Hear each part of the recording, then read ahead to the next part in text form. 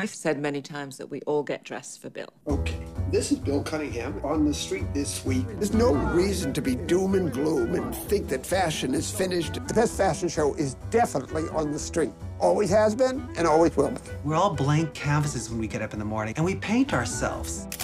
Street style emerged at the same point that Bill got a camera. He's been documenting me since I was a kid, and it's one snap, two snaps, or he ignores you, which is death.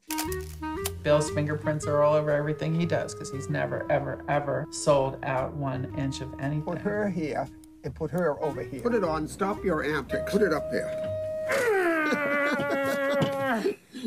Damn you, kids.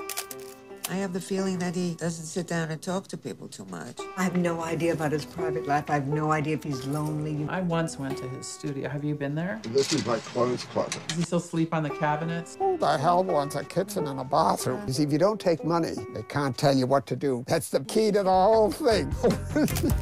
New York society becomes harder and harder to define. Bill is a true egalitarian. However, that doesn't mean he isn't aware of cultural vision and hierarchies. He just treats it all the same. I'm not interested in celebrities with their free dresses. I'm interested in clothes.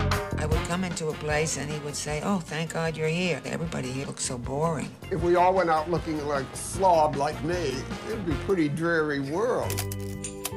The wider world that perceives fashion as a frivolity that should be done away with, the point is that fashion, it's the armor to survive the reality of everyday life.